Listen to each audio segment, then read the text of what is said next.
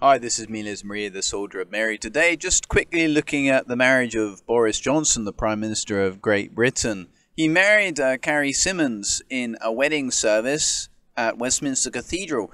And apparently, he has been divorced twice already. And people are wondering how is it possible that he was married? And also, his fiancee, or his wife now, I believe she was married previously as well. How could these two individuals be married in the Catholic Church? And what significance does this have? What does this tell us about Boris Johnson? Well, the response to the first question is well, the obvious answer is Boris's previous two marriages were null and void.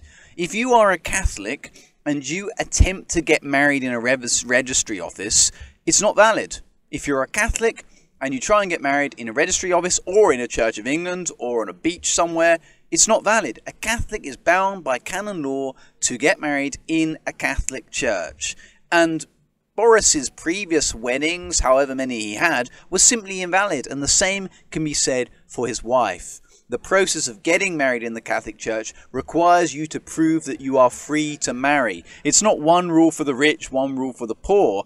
If Boris had been married previously in a Catholic church, he couldn't have got married this time. He would be considered married to the woman he married in the Catholic church. But it just so happens he never married validly. He was always invalidly married, living in sin up to this point. And the same can be said for his wife if she had been married previously, which I think she had been, or civilly married previously, which I think she had been. But what does this tell us about Boris Johnson? Well, it tells us that Boris Johnson went to confession.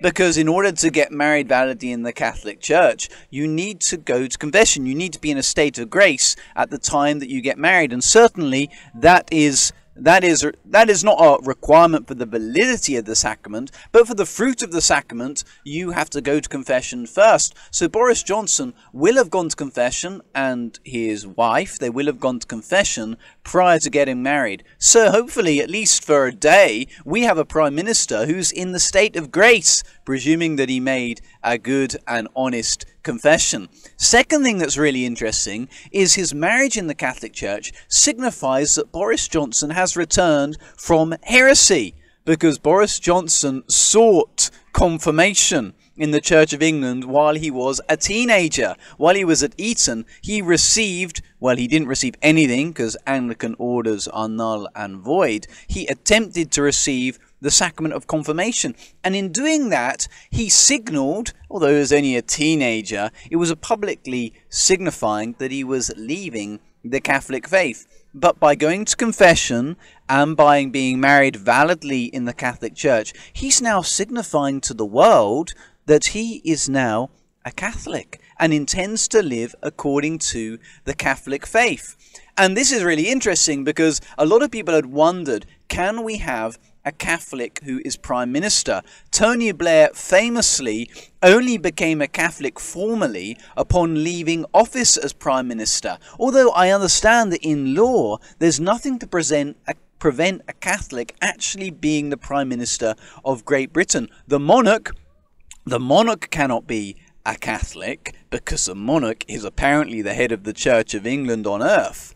But a Catholic can technically be Prime Minister of England. But it does create some difficulties because it means that Boris Johnson, as Prime Minister, is involved in the selection of the so called bishops of the so called Anglican Church. So we will now have a situation where a practicing Catholic Prime Minister, at least for today, a practicing Catholic Prime Minister is choosing the heretical, non valid bishops in the Church of England. Or at least he has to present, I think, a couple of names to some Episcopal Appointments Commission of the Church of England. It's going to be really unusual situation for a Catholic to be choosing the so-called bishops of another religion.